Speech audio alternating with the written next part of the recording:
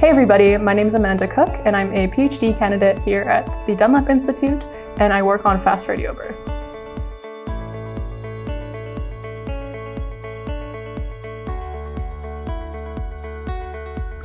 We don't know what an FRB is, but they're very easy to define observationally. You just have to look to the name, fast radio burst.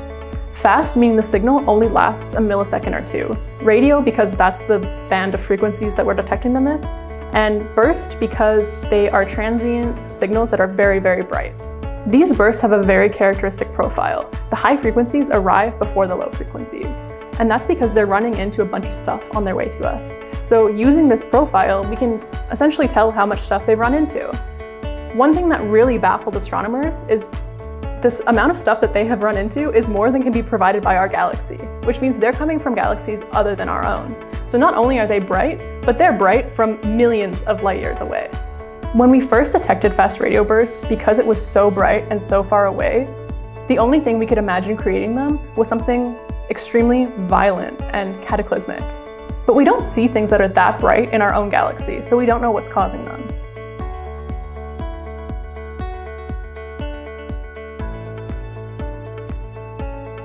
So a handful of years after we detected the first fast radio burst, my colleague here at the Dunlap Institute found something we weren't expecting at all.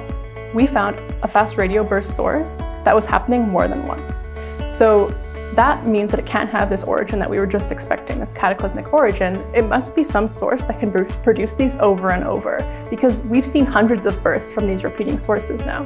And it's not like some periodic thing where we expect to see one every few seconds but rather they happen sporadically. We have no idea when they're gonna go off. As random as these fast radio burst arrivals seem to be, they do kind of cluster together. That means that sometimes we don't see a fast radio burst for like a year from a particular source, and then all of a sudden we're gonna see 30 in 10 minutes. There's even one fast radio burst source that's repeating that we see randomly for four days, and then we don't see for another 12 days until it starts over again. So not really a periodicity, but these active windows are happening periodically. So far, astronomers have detected thousands of these bursts, and most of them we only have seen go off once so far. There are about 100 sources that repeat, so we've seen two or more bursts from the same source. And then so far, we've only confirmed one of these periodically active window repeaters.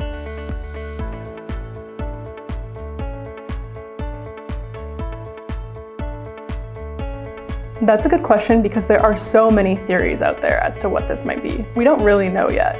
Before the experiment that I work on turned on, there was this time where not only did we have more theories than we had actual fast radio bursts detected, but the rate at which we were detecting fast radio bursts was smaller than the rate at which we were making up new theories as to what might cause them. Thankfully, this amazing Canadian collaboration that I work on turned on, and now we don't have that problem anymore there are lots of fast radio bursts detected. Of the theories that are published, most of them evoke connections to quite exotic species. So magnetars, which are really, really high magnetic field neutron stars, um, black holes, or even there's one paper out there by Prof at Harvard who believes that they might be aliens.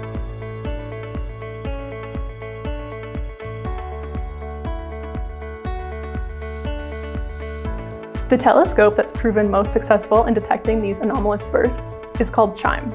CHIME stands for the Canadian Hydrogen Intensity Mapping Experiment. It was originally planned to do 21 centimeter cosmology, that is the study of the early universe, but we ended up putting a fast radio burst backend that was really successful because it sees such a large portion of the sky.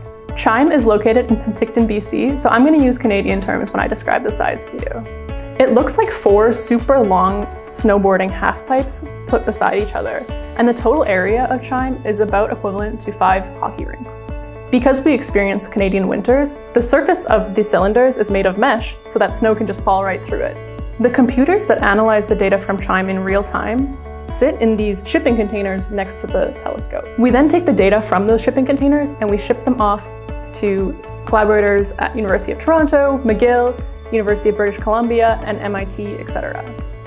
The reason that we have to use these computers to go through the data in real time is because of that characteristic delay in time that I was talking about earlier. We don't know exactly how long that delay is going to be, and we have to test every delay. Because CHIME observes in the radio band, we don't have to wait for the night sky. So we're looking at this huge patch of the sky all hours of the day, all hours of the night. The reason we have to do this in real time instead of just saving the data and looking at it later is because the data rate for CHIME-FRB is so high. If you were to save all of this data, it would be coming in at 6 terabytes per second. This is similar to all of the telecommunications for all of North America.